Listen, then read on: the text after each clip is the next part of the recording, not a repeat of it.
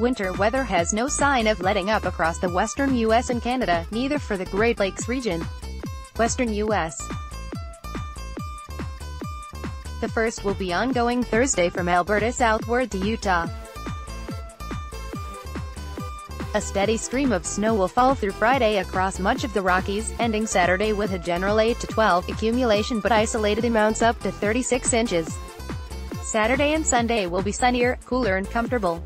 The second powerful storm will hit California Sunday, and then move across Arizona and the Four Corners Monday to Tuesday. Above 7,000 feet elevation expect another 12 to 24 of snow. Meanwhile, British Columbia gets heavy snow and wind Monday, pushing through Montana, Wyoming Tuesday. This week we love Castle Mountain, Big White Ski Resort, Kicking Horse, Dodge Ridge, Brighton and Cooper. Midwest, Eastern U.S. It'll bring a narrow swath of 6 to 12 of snow, but a broader swath of 2 to 5. Meanwhile, the immediate east will have two chances at new snow. One will be in the mid-Atlantic Friday with 2 to 3 of light snow.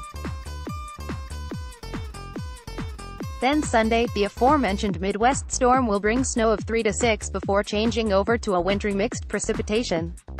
Best locations for snow Sunday will be Vermont, New Hampshire, Maine and Quebec.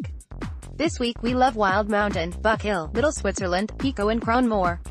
Until next week, thanks to Northern Vermont University, Lyndon meteorology students James Mundy and Francis Tarasiewicz for contributions to this article.